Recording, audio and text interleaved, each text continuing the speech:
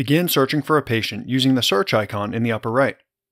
The default configuration of this tool is based on system build, but you can modify it to suit your preference. Note the open gray space in the lower left. Right-click it to reveal a menu of options. Let's start with Customize Filters.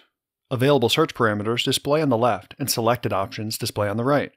These correspond with the filter shown in the search window. Make a selection from the menu on the left and add it to the column on the right. The Scenario drop-down menu allows you to build alternate search configurations. The arrows on the right adjust filter hierarchy, and you can indicate a filter is required. When finished, click OK. The new filter appears on the left. Using set filter values, you can specify default selections for a given filter. Here, we'll specify we'd like inpatient encounters by default. Inpatient now displays in the field, and you can change your selection using the drop-down menu.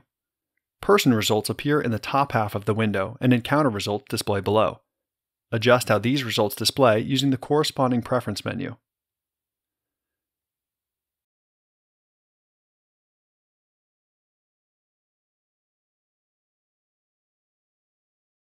Limit encounter results by count, date, or type using this menu. Customize All Options opens a consolidated window of all preference menus.